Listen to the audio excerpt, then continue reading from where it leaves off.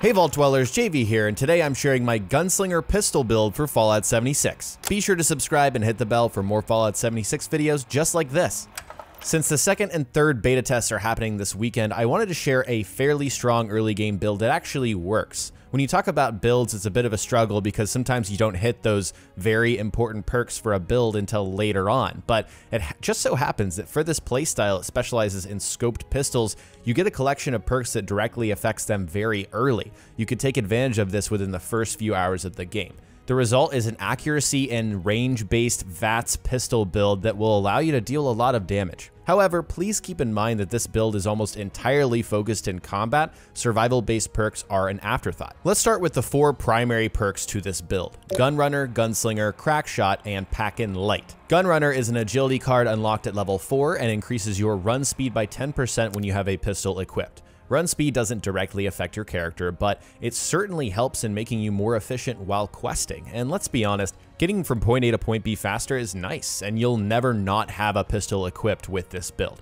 Gunslinger is an agility card unlocked at level 6 and increases your non-automatic pistol damage by 10%. This is our direct damage perk and is core to any semi-automatic pistol build.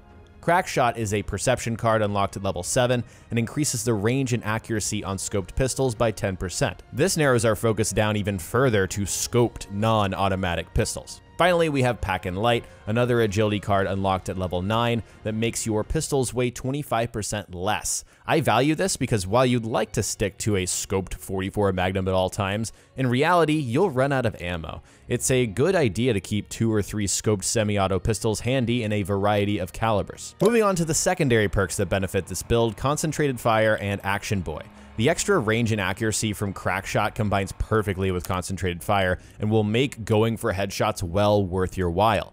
Action Boy is simply a fantastic combat card that I'll probably recommend on every single build that I ever make. Other perk recommendations to fill out your build, Inspirational, Lone Wanderer, and Scrounger. I would take Inspirational if you plan to play with others, it's just a good idea. Lone Wanderer gives you great bonuses if you're playing alone. Just make sure not to run this if you're rolling with people or else it's useless. And then finally, Scrounger is just nice to have for those more rare ammo types that you're going to find out in the world. 44, uh, just like I already mentioned, is rare, and it's a little difficult to make with crafting materials, so Scrounger is going to help you out with that. Let's talk about special. I'm not going to give you guys a strict level by level, you should take this perk and then this perk and then this perk. I don't think you need to do that in Fallout 76, but at level 10, you'll have 9 points to spend for your special. Most of those should go towards agility, since that's where many of our primary perks are.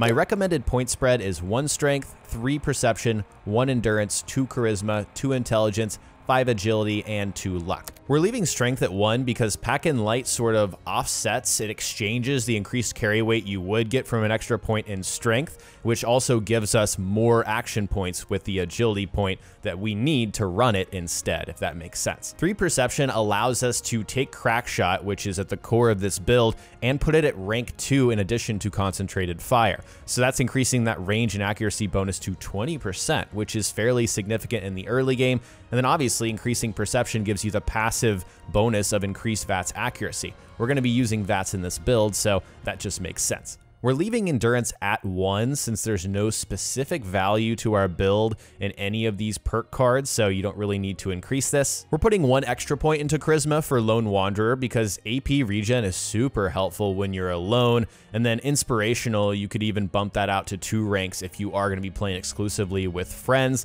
That'll ensure that you're maximizing your experience, which is great for any, you know, build or playstyle. We're putting 2 points into Intelligence for crafting and durability of scoped weapons, which we're definitely going to be doing with this build. Most of the time, you're going to be having to put like a reflex sight onto a pistol in order to activate crack shots. So you're going to be doing some crafting, and that's helpful we're dumping 5 points into agility for all of those primary perks that we mentioned towards the beginning of the video, but also taking an extra point to bump Gunslinger to rank 2, which will give you a 15% damage boost with those non-automatic pistols. Finally, that one extra point in luck is just to bump up that critical recharge rate a little bit. It's not for any specific perks. I didn't mention any luck-based perks as a focus for this build because there really aren't any. I did mention Scrounger. You could throw another one in there or level up Scrounger, but I do like the extra critical recharge rate. We all know how strong luck was for VATS in Fallout 4, and I expect the same in this game. My weapon recommendations are fairly light just because I don't have enough experience with the game, but what I did run across in my limited playtime